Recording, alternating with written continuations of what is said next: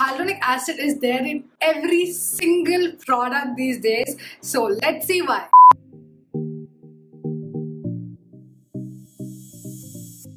Hi guys, welcome back to my channel. If you're new to my channel, hi, I'm Akanksha. I'm just feeling like, you know, a little gangster vibes today. Just too lazy to change my clothes, so I just added this necklace and uh, red lip. Kind of looks like a little, you know, cool kid, gangstery type of vibe, but I really like how it looks. So before getting into the video, I just want to give a big disclaimer. I'm not a dermatologist, I'm nothing. This is just for me, you know, to share whatever knowledge I have about, uh, you know, certain ingredients of skincare and what I've researched. I'm just going to share it with you. I'm not dermatologist i'm not claiming to be. So if you have any skin issues or anything of that sort i don't think i can help you. I can just share the knowledge i have so that you can just see if it is useful for you. So saying that i'm going to start a series where i'm going to break down each and every active in your skincare ingredients. You guys requested me a lot you know break down skincare ingredients and explain as much as i can so that you can decide whether or not you want them in your skincare. So i'm just going to share you guys whatever i have the knowledge i have. I'm going to do the best to give you everything right and as much as information as I can. Like you read the title of the video, today's video is going to be about hyaluronic acid.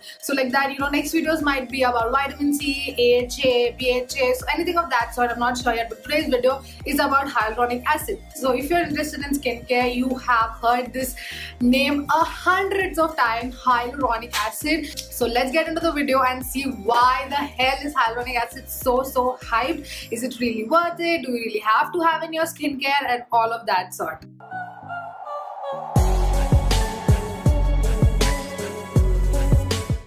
start off with what is hyaluronic acid. Hyaluronic acid or HA is something which is naturally present in our skin. So it is basically a sugar component which is there in our skin. A maximum amount of HA in our body is during the time we were like born when we were babies. We do have a high amount of hyaluronic acid in our body and so as you age the amount of hyaluronic acid keeps decreasing so you need to add it topically or with fillers so to retain the moisture in your skin. So hyaluronic acid basically draws moisture from the air and pulls it in your skin and makes your skin stay hydrated and plump. So hyaluronic acid is so high because it can hold 100 times its weight in water. Sorry guys, I just mispronounced it. It's not 100. Hyaluronic acid holds 1000 times its weight in water.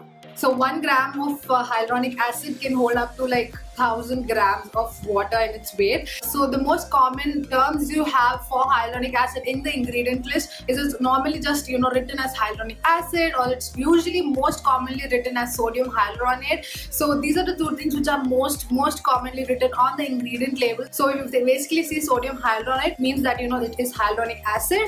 Hyaluronic acid is very jelly type in uh, texture. Hyaluronic acid is really good for hydrating skin and making it plump and nice but you need to be really careful careful on whether or not you can use a hyaluronic acid depending on your surroundings. If you're somebody who stays in a very dry area, you cannot use a hyaluronic acid because usually what hyaluronic acid does, it, it you know pulls the moisture from the air and helps your uh, skin stay hydrated. So if you're somebody who's in a very humid area etc., it's really good. It's going to retain the moisture. But if you're somebody who's in a very very dry area, it doesn't have uh, moisture from the air to draw, so it can draw from your skin, which can kind of make your skin more dehydrated, which is not very ideal. So you need to be very, very mindful of whether or not you know you can use your hyaluronic acid depending on where you stay or live. So hyaluronic acid and glycerin are kind of similar. They both draw the air from uh, they both draw the air. They both they both they both draw moisture water from uh, the air and like hydrate your skin. Glycerin has been an old friend which has been here since ages. Glycerin is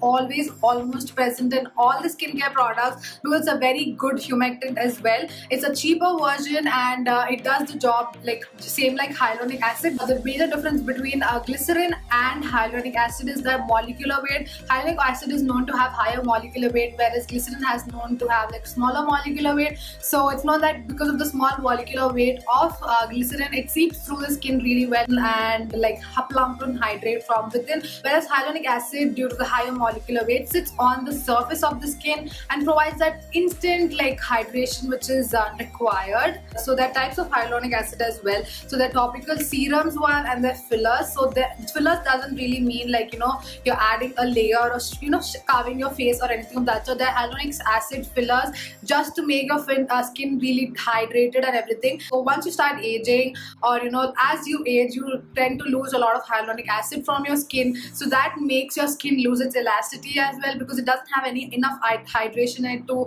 retain its elasticity or collagen. So if when you apply hyaluronic acid topically, it is said that it only reaches like you know until your epidermis and that's it. So like you know basically we have skin layers, there's epidermis, then dermis. When you apply it topically, it only reaches until the top layer of the uh, epidermis and it doesn't go until the dermis layer. So fillers are something which help you know you to give hyaluronic acid until the dermis layer and you know it helps rejuvenate from the, the skin from the inside. So these fillers can last up to like guess 6 to 18 months. I'm not sure. I'm not going to go into the fillers part a lot because I'm not a dermatologist and I don't know. But it's something uh, people can opt for if you want that really nice plumpy skin uh, you know from within. It really really helps a lot. I've heard about it. So for topical there are types. There you know creams you can use which have hyaluronic acid and you can use serums which you have uh, hyaluronic acid. But if you go with serums it's not really enough. You always have to top it off with a moisturizer because hyaluronic acid will help you pull the moisture into the skin but and the moisturizer will just lock everything in place.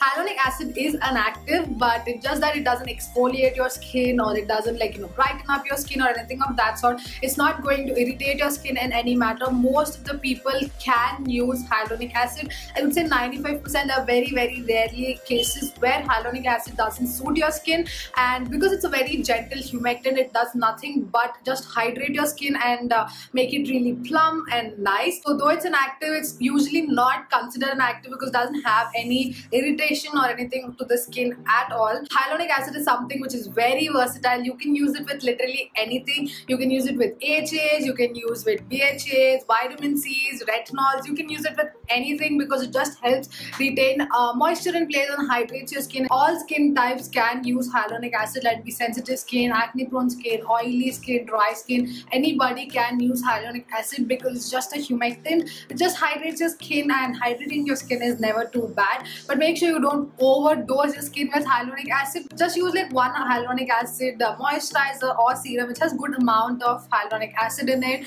And that would be enough for you know to hydrate your skin. So i've heard few doctors even say that you know you should not spend a lot of money for a hyaluronic acid because hyaluronic acid is something which is like you know topical and you wash it away. It's not going to like give you a long term uh, effect. Hyaluronic acid is pretty cheap. You can get it in like you know uh, fair amount of deal. You don't have to spend like thousand, like sorry, not thousand, but hundred dollars, two hundred dollars on a hyaluronic serum. You can rather, you know, if you really want that hydration, maybe you have to get fillers. That's what I've heard few doctors say. And hyaluronic acid is cheap. It's available in a lot of forms these days. So make sure you do have a product which has really amount, high amount of hyaluronic acid in it, so that you know your skin will stay nice and hydrated and plump all the time. You don't want to age really quickly. So I have two products to show to you, uh, which I really like to have a good amount of hyaluronic hyaluronic acid. So one is the ordinary one. So the ordinary 2% HA. I really really like it. Uh, it's something which hydrates your face. It's a very very simple hyaluronic acid.